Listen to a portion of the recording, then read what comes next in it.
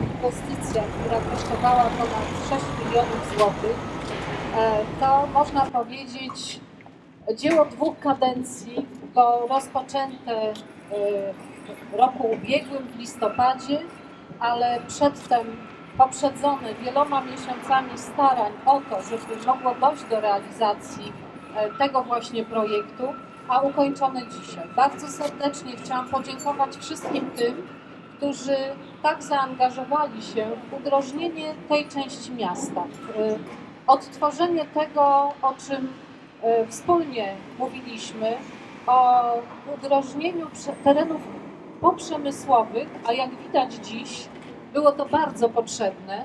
E, No i oby takich dróg w naszym mieście więcej. Jak Państwo widzicie, to nie tylko jezdnia, to to, o czym wszyscy marzymy, czyli porządne wjazdy, chodniki i ścieżki rowerowe, o co też e, wiele e, osób postulowało.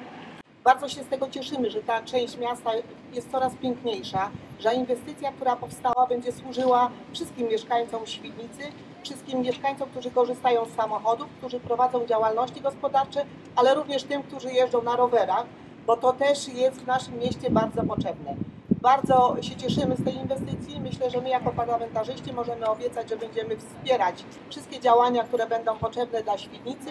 Pani prezydent, ja w imieniu parlamentarzystów chciałam na Pani ręce podziękować e, prezydentowi Wojciechowi Muckowi, który przyczynił się do tego, że ta inwestycja w ogóle powstała. Pani jako nowy prezydent dokończyła tę inwestycję. Nie, wstążka na Ciebie. Moja.